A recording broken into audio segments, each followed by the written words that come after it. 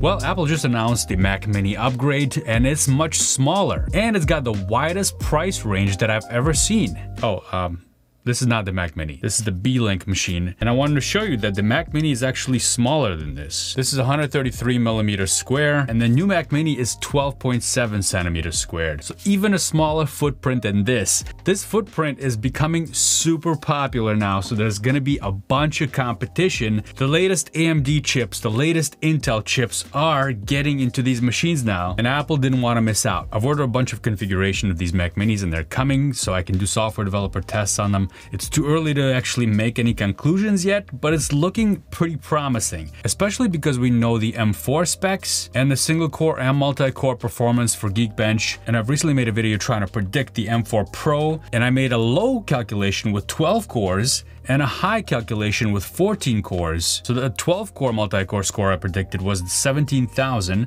and over 19,000 for the 14 core score. And both of these configurations are now available. Here is the baseline. We've got the M4 chip starting with 10 cores for performance, for efficiency. The memory bandwidth is higher on the base model too. We knew this already. So that's gonna be really good for AI applications. Okay, I won't say AI, okay? I'll say LLM. Sick of hearing about AI. Come on, let's let's talk about machine learning. This is a software developer focused channel after all. 273 gigabytes per second memory bandwidth on the M4 Pro chip. M4 Max is coming up, probably being announced very soon, maybe even when I'm releasing this video. The M4 Ultra is gonna be insane if that does come out. Imagine having an LLM cluster of a few of these machines talking to each other via Thunderbolt 5.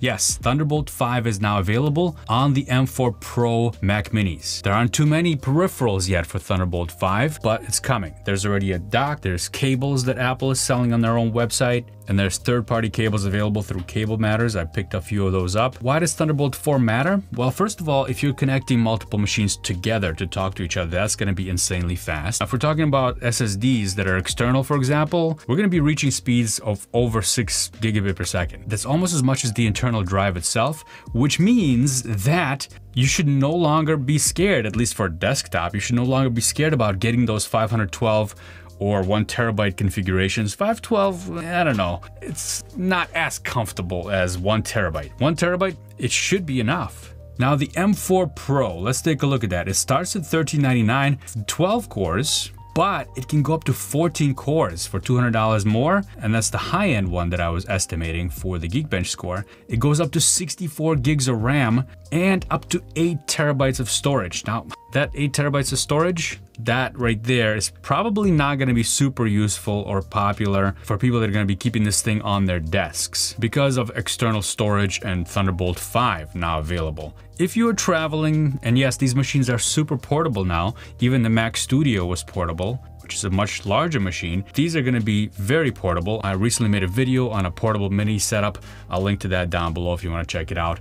But if you're portable, maybe you wanna get a little bit more SSD or just carry the peripherals with you as well. Here we go, gigabit ethernet. Let's change that to 10 gigabit ethernet. I'm using 2.5 here. I didn't upgrade to 10 yet. And most people are probably still on gigabit. You should be fine with that. But let me tell you, 2.5 versus 1 gigabit is already a world of difference. 10 gigabit is gonna be is gonna be insane and for $100 more depending on how long you're gonna keep this machine it might be worth the upgrade so with this machine maxed out we are at $4,699 now but now we're talking about a machine that is more specced out than my MacBook Pro this is the M2 Max MacBook Pro. It has a faster chip it has more storage, it has more RAM. Well, it's the same amount of RAM, 64 gigabytes is what I have in here. So if I bring this down to two terabytes to match what I have in my MacBook Pro here and one gigabit ethernet, I'm at $2,799, whereas this MacBook Pro cost me about 4,000. So that's the higher end of these Mac Minis. A very capable machine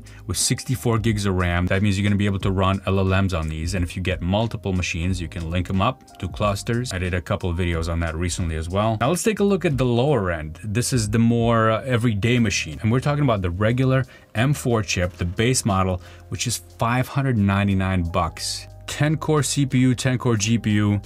The neural engine is the same 16 core neural engine they've had, except it's faster because these new chips are using a 3 nanometer process instead of the 5 nanometer process like the uh, previous generation. So for 599, you get 16 gigabytes of memory, not 8 anymore. Everybody's gonna be super happy that 16 is now the minimum. It looks like Apple is getting rid of the 8. Maybe the next MacBook Air is also going to be 16 minimum, hopefully. And what's nice about the M4 chip is that it doesn't have a maximum of 24 gigabytes like the M2 and the M3 chips did. It goes up to 32 gigabytes of unified memory. And if you upgrade to that, you're still under a thousand dollars. But then you have to look at the storage option. 256 gigabytes is really you're, you're cutting it really close. Even after installing all the software developer tools, we're not even talking about media, no videos, no pictures, no music. We're just talking about software developer tools now, and you're gonna be filled up with 256. I have a 256 gigabyte MacBook Air here, and I constantly have to delete programs off of it so I can fit new developer tools on it. If you wanna see my developer setup on a Mac, I'll link a video down below as well. So 512, I'd say is the absolute minimum at this point. You're up to $1,199. One terabyte will give you a little bit more comfort. Then you're up to $13.99. And now you have to wonder, well, if I'm paying $13.99, should I just go for the M2 Pro? Because that's how much the base M2 Pro costs. So that's how Apple gets you. They always get you like that with little tiny upgrades that are $200 increments. It's all pre-calculated. It's all very nicely arranged so you can go up that ladder just a little step at a time.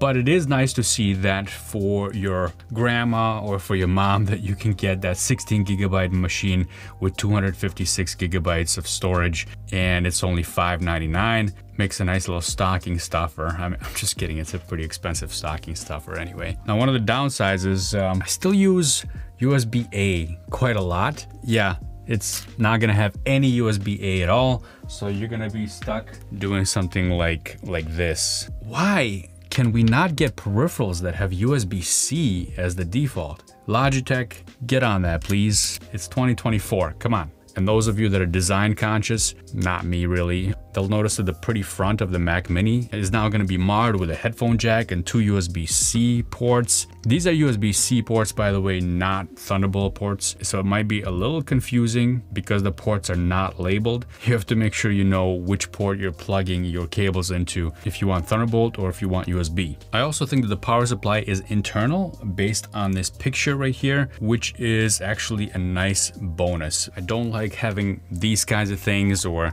these kinds of things laying around. So it's good that it's gonna be one neat cable for the power supply. Now I know I'm gonna be comparing apples and oranges here, but I just wanted to take a quick look at the Mac Studio because the base model of Mac Studio has 32 gigs of RAM and you can upgrade that to 64. That's all you get for the base model.